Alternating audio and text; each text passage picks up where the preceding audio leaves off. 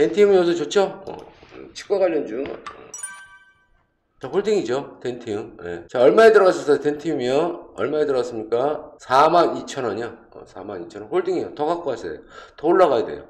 어, 이거, 이 전고점, 이거 다 뚫어야 돼요. 45,000원 뚫어야 됩니다. 아, 뚫고 올라가야 되니까 홀딩 하시죠. 어, 자, 자, 뚫으면은 45,000원 뚫으면은 다시 한번 문 체크하자고요.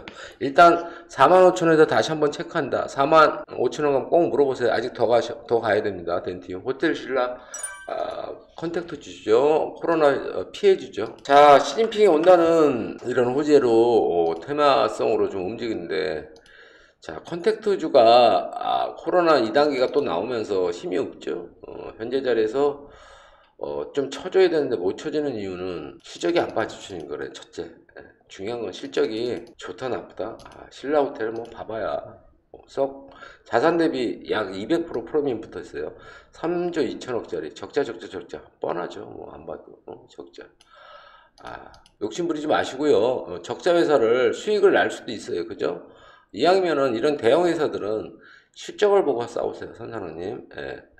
7만 5천 원. 어, 짧게 보고 싸워. 순저가 여기 잡아.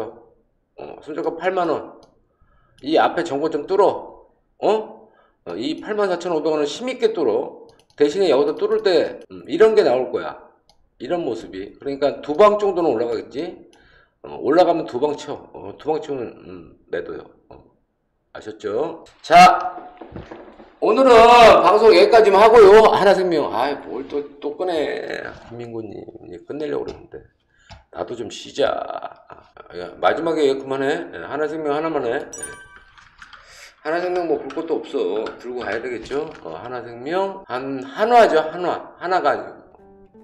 한화. 그죠? 홀딩. 뭐 단기간 수익 보실 거예요? 중장기로 보실 거예요? 뭐 근래에 들어가셨네. 단기로 아, 보실 거 아니면 중장기로 보실 거면 그냥 중 그냥 그냥 들고 가세요. 한창 봐야 돼요.